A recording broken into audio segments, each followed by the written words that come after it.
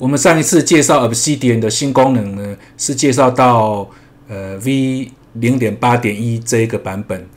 那目前 Obsidian 的最新公开版呢，是到呃零点八点九。那内测版本呢，是到零点八点十一。虽然这个版号增加没有多少，但是事实上呢，Obsidian 呢，自从零点八点一以后呢，已经又增加了不少新的功能。那在这一支影片里面呢，我们就简单的来介绍一下，呃，零点八点四一直到零点八点九呢，到底 Obsidian 呢又增加了哪一些方便的功能，能够比较更方便的来提升我们整个制作笔记的一个效率。那以下就是这一些新增功能的汇总。最容易被注意到的新功能呢，当然就是呃，从零点八点四以后呢，已经有了中文这个语言的操作界面的啊。那我们要启用这个中文的操作界面的话呢，要从呃设定，然后呢关于，在这个关于里面呢，就会有一个语言哈。从这个语言的下拉选单里面呢，我们就可以去选择我们要使用的显示的这个语言哈。那当然我们目前就是选择了繁体中文。那选择了繁体中文以后呢，再重新启动一次呢，在进来的时候呢，就所有的界面呢就已经会是呃中文的文字了哈。在零点八点一的时候呢，呃，我们的每日笔记哈已经有了呃样板的功能。那在更新的这个版本里面呢，呃，又多了其他两个新新的样板的功能哦。我们从设定里面来看一下哈，我们在设定这个里面哦。呃，首首先我们先把这个样板功能给启用起来，所以我们要到这个外挂里面去找到样板这个设定。好，这个样板功能呢，我们要把它给启动起来。哦，然后同时它除了这个一般的文字的样板以外，哈，它又多了 ZK 卡片的这个样板。哈，那如果说你有使用这个 ZK 卡片的话，你把它启动起来。然后呢，到时候在这个外挂里面呢，就会有一个 ZK 卡片，你在这边呢就可以指定你这个 ZK 卡片它的样板的档名是什么哈。然后 ZK 档案，呃，ZK 的这个档档案要存在哪一个资料夹，现在就都可以设定了哈。那这个也是新版增加的功能。那我们先来看一下哈，这个呃先前日记哈，当然就是要指定这个是档案产生出来的点 MD 的档名，然后呢，呃，笔记要放在哪个资料夹。然后呢，我们的笔记、我们的日记哈，呃，要放在哪一个？要使用哪一个样板的档名哈？这边是指定样板的档名的哈。那这个另外这个样板哦，是新的这个产生成文字的样板，它可以呃，在我们任何一个开启中的笔记呢，我们可以使用插入样板，它就会弹出一个视窗，让我们去选择我们存放在这个样板资料夹里面的呃所有的。点 MD 的档案都会列出来，然后呢，我们选择了其中一个档案以后呢，它会把那个档案的内容呢插入到我们目前的这个笔记里面来，好，所以它是呃类似呃 AutoHotkey 或是呃或是那个 expanso 的这个 Hotstring 哈热字串的插入功能哈。那我们在这个样板里面呢，一样我们要先指定我们样板的资料夹，那请注意这边是指定资料夹，好，然后呢，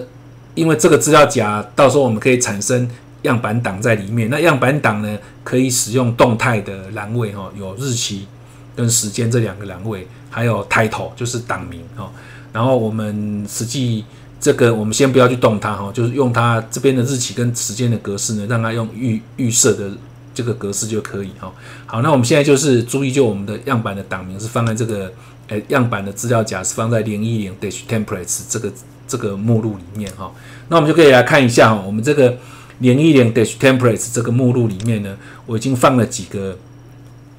呃样板的档名档案进来了哈。那这个其中这个 daily templates 呢，是给我们的每日笔记，现在是翻译成日记了哈，是用有我们的日记使用的样板的档名哈，所以这一个呃我们可以不要去使用它。那其他这个样板哦，就是其实它就是一个呃一般的 markdown 的档案了哈，就是我们的笔记。啊，比如说我们有个 YAML 哈，那这个就是产生在我们的表头的哈，我们的档案的开头的呃设定，然后呢，我要插入一个一个呃 iframe 里面要镶 YouTube 的影片，好，那我也我也可以把它做成是一个呃样板，好，那只要我们放在这个我们刚刚指定好这个资料夹里面的说这些档案呢，我们在操作的时候呢，就可以把它变成是一个档一个样板，然后插入到我们的呃笔记里面。那我们现在开一个测试的笔记出来哦，好，那这是一个我们测试的笔记哦。比如说我在这边，然后呢，你就可以第一步你可以按 Ctrl P 啊，然后去找到呃插入样板。它目前这个命令呃输入英文的这个功能，它还没有还没有修改了，那变成要搜寻都要打中文，很麻烦哦。呃，所以哦，在这边哈。那其实最简单操作的方法呢，是应该到快捷键这边去设一个 hot key 给它啦。就是我们的插入样板呢，我就可以设一个 hot key。那这样子我就不用开启这个 mini 面板哦，来这样子执行哦，这样子速度就慢很多。好，那你可以看到它已经就都显示出来了哈。然后我们就可以，呃，比如说我要插入这个 YouTube 的这个 videos 的内容哈，然后我选到它以后呢，就 click 它，它就会帮我们把我们刚刚的这个 M M D 档的。这个内容哦，就帮我们插入到我目前的这个笔记里面来了哈。所以呃，这个插入样板呢，就是这样子使用就可以了哈。好，那我们再来介绍，就是所谓的动态样板哦，是动态的变数是什么意思呢？就是比如说我们这个日期日期的样板哈，每日笔记日记的样板哦，我们可以在我们的标题行呢使用这个 date 冒号，然后后面是一个格式哈。然后用这样的方法呢，我们就可以把这个内容的动态，它会自动取今天的系统日期。那下面这个呢，就会取系统的时间啊。那它要在这个标题上才会生效，因为像我们这个在没这个这个呃这个变数哦，它没有没有用冒号 format，也没有用标题，结果它事实上是没有成功的哈。好，那这个是我们每日笔记的样板，我们可以用这个每日笔记这个来试一下哈。我们就点击一下我。每日笔记会产生在这个零二零 dash daily 这个资料夹里面，那目前是空的哈，我们点击一下，好，它已经产生出来了哈，我们可以看一下，嗯，这个可能是 bug，有时候它不会嘛，它不会成功哈，我再点一次，好，这次就成功了哦，它就会把我们刚刚这个系统日期就直接都带进来，好，然后呢还有我们的系统时间，可是这个呢是反正是没有成功的哈，好，那这个就是。呃，样板的功能。接着哈，就是目前 Obsidian 呢，也可以很正常的来显示 YAML 了哈。就是原来我们一般我们的 Markdown 里面哈，有一个扩充的一个用法哈，就是在呃笔记的最开头呢，我们可以用三个减号把一一段的设定哈，来设定在我们的这个呃档案的开头，然后它一般就会是显示我们的标题。然后呢，还有可能就是其他的一些系统，它会辨识的一些标签啊。那以前呢，这样子的方法它是没有办法正常呈现的哈。那目前呢，我们只要在设定里面，在这个编辑器里面哈，我们要去找到显示正文前页这个功能，把它启动起来的话，呃，它就会正常的可以呃显示出来了哈。那如果说呃，你这个有启用起来的话，你在预览画面里的话，你可以看到这个 EMO 的这个内容。那如果说我们把它给关闭的话，好，那它这个这个在编辑状态呢不会有有错误哈。那但是在我们的预览画面里面呢，这一段 EMO 的内容就消失了哈。所以这就看你你的需要。如果说你希你希望这个。呃，YAML 的内容要显示出来的话，哦，那这个显示正文前页，哦，你要记得把它给勾选起来，哦，那这样子它就会出现这个 YAML 的区域。好，那这是第三个新的这个功能，好，然后另外呢，呃，以前以前的呃 Obsidian 里面它的内部连接，哈，它都是只能用呃两个两个中括号了，哈，比如说我们。我们随便叫一个哈，比如说这一个，那它是用两个中括号的显示的方法。那目前哦，如果说我们在设定里面，呃，在编辑里面哦，如这里面哦有一个使用 Markdown 连接格式，假设我们你有把这个选项给启动起来的话哈，它会变成是会直接帮你把这个两个中括号的内部连接的呃表示的方法呢换成 Markdown 的标准格格式哈。比如说我们再试一次哈。呃，我们一样选同样这一个，你可以看到哦，它就会自动帮你变成是标准的呃 Markdown 的写法哦，就是中括号里面呢就是显示出来的呃字串的内容，然后后面是它的连接的位置，然后它会帮我们把所有的中文哦都换成用这个百分号这种表示的方法。那空白哈，如果是你的这个内容有空白的话，它就会变成是百分号二零，好，会用这样的方法来做呈现。那假如说你希望嗯。用标准的格式的话哦，那你就记得要把刚刚的这个设定给打开哦。呃，因为标准格式有可能你你再把这个内容哦拿到别的 Markdown 的编辑器的时候呢，它才它才有办法正常的辨识哦。因为这个两个中括号这个这个表示方法哦是呃 Obsidian 自己扩充的哦，并不是标准的 Markdown 的语法。接着哦是在。编辑区上面哦，它的这个更多选项里面呢，它又多多多了几个扩充的功能哦。第一个就是说，我们现在已经可以看到目前开启中的这个笔记它的这个关联图了哦，而且我们可以指定它连接的阶层啊，就是说我这个笔记呃，它要跟哪一个笔记有有关联，然后另外那个笔记呢又可以再跟另外一个笔记有关联，那这个阶层数呢，我们是可以指定的哈。然后我们点击了某一个。呃，在关联图里面点击的某一个节点呢，它会自动帮我们开启那一个节点的笔记出来啊。那这个对我们在搜寻呃笔记中间的关联的时候呢，就有很大的帮助。然后另外就是在呃更多选项里面，它也有一个可以让我们直接呃把我们的档名哦显示在这个档案管理器里面的这个功能哦。那这个有时候在搜寻页面，那我们希望搜寻到的网页哈。搜寻到的笔记能够马上呈现在这个笔记的这个档案总管里面看到的时候呢，就很有帮助了哈。我们来先看一下哈，比如说，比如说我这个，我们我们拿我们的这个最上一层的这个 MC 的这个内容来看哈，我们就可以点击这个更多选项，这个里面呢就有一个开启当前关联图。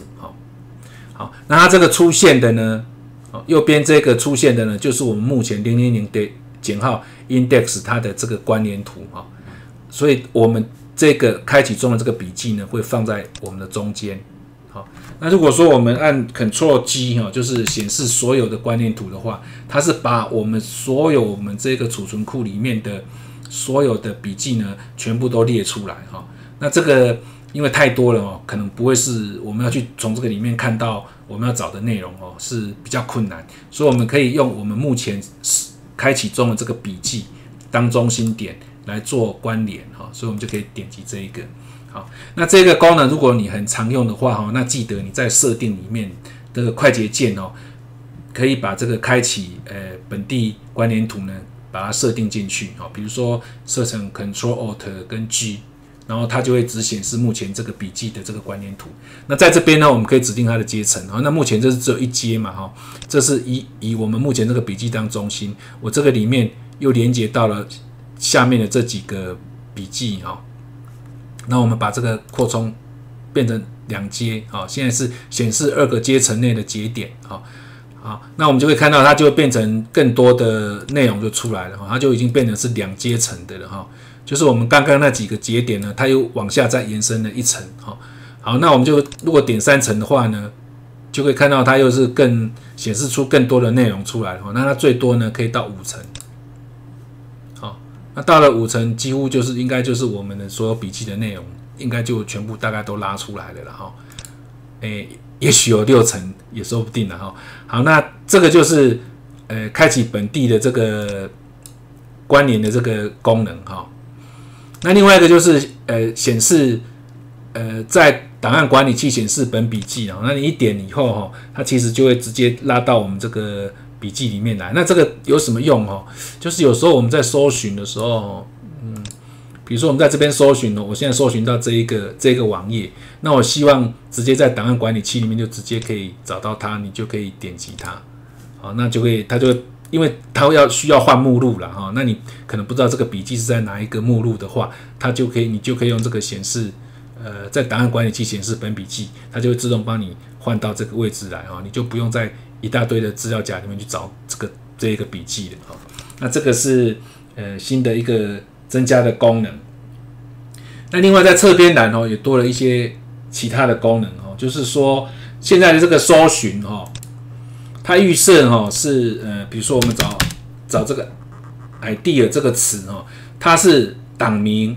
只要你的笔记的档名跟内容都有的话呢，它就全部会帮你显示出来。但是有时候我们是可能只要找档名的话，那现在就有方法可以让我们做扩充了哈。我们只要输入说我现在。要只要找档名的话哈，你就要输入 file 冒号，那就只找档名而已哈。那它的内容有这个字的，它也不会出现哦，只找档名。那如果说你只要找内容的话呢，你就打 content。好，那这个就是你看这个档名不符合的也会有，因为你的内容符合了哦。所以就是如果你没有指定这个 file 冒号或是 content 冒号的时候呢，它是档名跟内容的全部通通都会帮你找啊，然后。如果说我们现在也可以来找一个标签的哈，呃，比如说我们这个可以这样子做哈，比如说我把这个关掉哈，我们现在在这个 test 里面哈，好，进入编辑。假如我们有个标签哦，呃，叫做比如说 daily 好了，好，然后我们可以在这个显示预览的状态下面哦，可以点击这个井号 daily，它会帮我们做搜寻这个标签。好，所有你的有这个井号 daily 标签的笔记呢，就会显示出来。那它其实就是用 tag 冒号，然后再加上你的标签的名称，这样就可以了哈。所以你可以，你也可以直接搜寻啊，不必用这种连接的方法来做。然后如果说你要找的内容哈，是要在某一个资料夹里面的时候，因为我们刚刚看到找到的内容，然后是你所有的整个储存库全部都找了。可是你现在如果说要限定在某一个路径下面的话，哈，那我们这边就可以用 paste 冒号，嗯，比如说，嗯，我不晓得我有哪个路径有哈，比如说好了，随便我们我们在这个路径里面哈，就是在我的诶零零零减号。好，假设是在这个这个这个，嗯，这都要打中文，有点麻烦哈。哎，我看一下哈。啊，比如说我要在零一零 templates 这个资料夹里面找的话，零一零。好，那你要找什么东西呢？就输入进来，好。就是这样，这样的方法就可以了。它可以指定哪一个资料夹的下面去找内容。好，好，然后我们找到的这个内容哦，我们现在要把这个内容，假设这个搜寻的内容是我经常需要去重复去搜寻的话，我们可以把它给储存起来。哎，这个功能可能不是零点八点四有的哈，可能以前就已经提供了哈。